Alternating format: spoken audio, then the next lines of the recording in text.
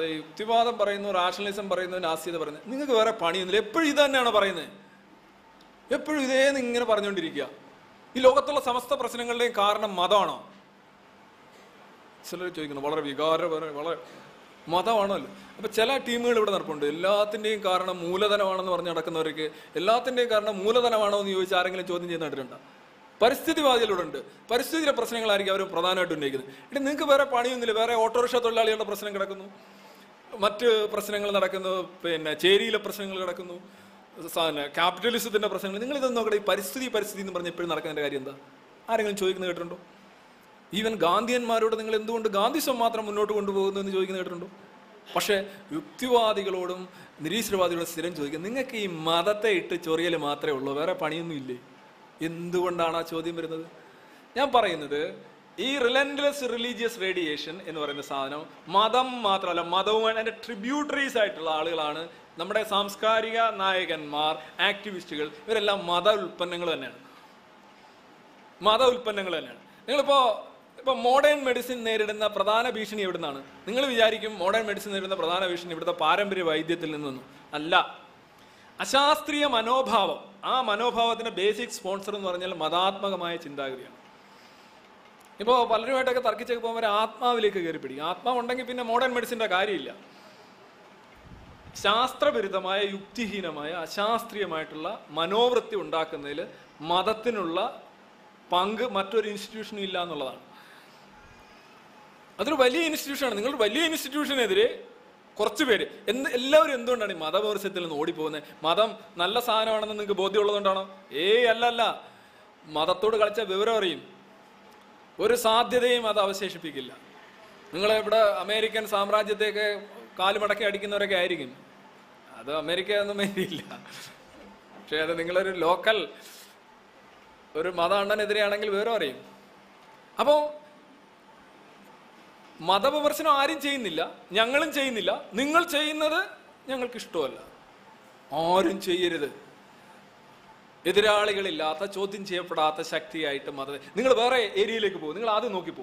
കുറെ നാൾ പറഞ്ഞുകൊണ്ടിരുന്ന യുക്തിവാദികളുടെയൊക്കെ പറഞ്ഞു നിങ്ങൾ ഈ ആളുകളുടെ മുന്നിൽ മുഖം മുനിക്കാൻ നല്ല പരിപാടിയാണ്. ചാരിറ്റി കുറെ പൈസയൊക്കെ പിരിച്ചിട്ട് ഓരോരുത്തർക്ക് കൊടുക്കുക. അപ്പോൾ ഭയങ്കര ആളുകൾ നിങ്ങളെ നിങ്ങളുടെ ഈ പന്ന മുഖമൊക്കെ ഉണ്ടല്ലോ? നിങ്ങൾക്കൊരു അസ്വീകാര്യതയൊക്കെ ഉണ്ടല്ലോ? ഇതൊക്കെ അങ്ങ് പോവും. നിങ്ങൾ പൈസ പിരിക്കൂ. ഇങ്ങനെ ആളുകൾക്ക് കൊടുക്കൂ. അപ്പൊ നിങ്ങൾക്ക് നല്ല പേരും പെരുമയൊക്കെ കിട്ടും. അപ്പോൾ സമൂഹത്തിന് വേണ്ടി എന്തെങ്കിലും ചെയ്യുന്നവരാണ് നിങ്ങൾ എന്ന് പറയും. അപ്പൊ എന്ന് വെച്ചാൽ നമ്മൾ ചെയ്യുന്ന കാര്യങ്ങളൊന്നും സമൂഹത്തിന് വേണ്ടിയല്ല. ഈ പണം പിരിക്കുകയും പണം പിരിക്കുന്നതിന് എന്താ പ്രശ്നം? പണം പിരിച്ച് ആണ് സേവനം ചെയ്യാൻ കഴിയുന്നെങ്കിൽ ഇപ്പോൾ ഹാജി മസ്താൻ ആയാലും ആൾദൈവങ്ങളായാലും മണിച്ചനായാലും ദാവൂദ് ഇബ്രാഹിം ചെയ്യുന്ന സേവനങ്ങളെ കുറിച്ച് നിങ്ങൾ കേട്ടിട്ടുണ്ടാവും ദാവൂദ് ഇബ്രാഹിം? എത്തില്ല നമ്മളെ കൂട്ടിയാലൊന്നും എത്തില്ല കേട്ടോ. ഇത് ഒക്കെ ചാരിറ്റി തെറ്റായ കാര്യമല്ല. ചാരിറ്റി ചെയ്യാനുള്ളവർക്ക് വ്യക്തിതലത്തിൽ ചെയ്യാം. പക്ഷേ ഈ മതവിമർശനം എന്ന് പറയുന്ന സാധനം നടത്താൻ വേറെ ഇവിടെ ആരും ഇല്ല. ഒരാൾക്കും താല്പര്യമില്ല. എല്ലാവരും പോവുകയാണ്. അങ്ങനെ ചെയ്യുന്ന കുറേ ആൾക്കാർ നിങ്ങൾ വാ മുഖം മെനുക്കാനായിട്ട് ഞാൻ ചാരിറ്റിയുടെ ഓപ്ഷൻ തരാം. അപ്പോൾ എല്ലാവരും പറയും ആ യുക്തിവാദികൾ മതവിമർശനമൊക്കെ നടത്തുമെങ്കിലും ചാരിറ്റിയും കൂടെ ചെയ്യും കേട്ടോ. അങ്ങനെ നിങ്ങൾക്കൊരു ഗ്ലാമറൊക്കെ ഉണ്ടാവും കേട്ടോ. പണ്ട് പറഞ്ഞതുകൊണ്ട് നിങ്ങൾ വെറുതെ യുദ്ധം ചെയ്താൽ പോരാ നിങ്ങൾ ക്യാപിറ്റലിസത്തിനെതിരെ യുദ്ധം ചെയ്യുക. വർഗബോധത്തിനെതിരെ യുദ്ധം വർഗസമരത്തിന്റെ മുന്നണി പടയാളികളായിട്ട് മാറുക. അപ്പോൾ നിങ്ങൾ മതത്തിനെതിരെയാണ് പിന്നെ നല്ലൊരു കാര്യം ചെയ്യുന്നുണ്ട്. ആകെ ഒരു മതത്തിൽ അക്സെപ്റ്റൻസ് ഉണ്ടാവും. ഇങ്ങനെ ഇങ്ങനെ വരുന്ന എല്ലാവരെയും അവരുടെ അവരുടെ എന്താ പറയുക ബുദ്ധിയെയും ചിന്തയെയും മരവിപ്പിക്കാനായിട്ട് ഓരോരോ ഐറ്റംസ് ഇങ്ങനെ ഇട്ട് ഓരോരോ മേഖല നിങ്ങൾ അതിലേക്ക് പോയി പണിയെടുക്കൂ ഇതിലേക്ക് പണി പണിയെടുക്കും. പിന്നെ വേറെ ആർക്കും ഇങ്ങനെ മറ്റിടത്ത് പണിയെടുക്കേണ്ട കാര്യമില്ലേ? എന്റെ ഒരു ചോദ്യം നിസ്സാർ ചെയ്ത ഈ ഏക കാരണം എന്നുള്ള സാധനം നാസ്തികയുടെ ഘടകവിരുദ്ധമാണ് നമ്മൾ ഒരിക്കലും ഏക കാരണം പറയുന്നില്ല. ലോകത്തെ എല്ലാ പ്രശ്നങ്ങൾക്കും കാരണം മതമാണെന്ന് ആരാ പറയുന്നത്?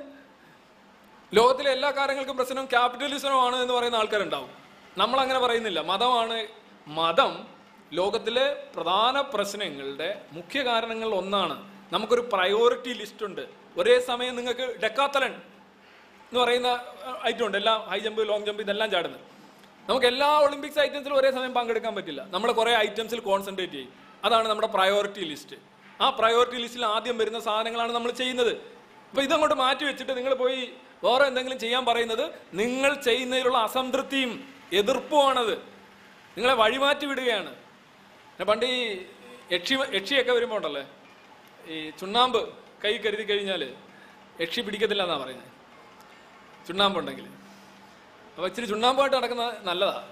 ഇങ്ങനെ കുറേ യക്ഷിമാർ ഇറങ്ങുമ്പോൾ നിങ്ങളെ വഴി തെറ്റിപ്പോകാതിരിക്കാൻ വളരെ നല്ലതാണ്. ഏക കാരണം എന്ന് പറയുന്ന ഒരു സാധനം നാസ്തികതയ്ക്ക് വിരുദ്ധമാണ്. ഏക കാരണമല്ല ബഹു കാരണ സംബന്ധിയാണ് ഈ പ്രപഞ്ചം. എല്ലാം കാര്യകാരണ ബന്ധങ്ങളുടെ ശൃംഖലയാണ് ഈ പ്രപഞ്ചം.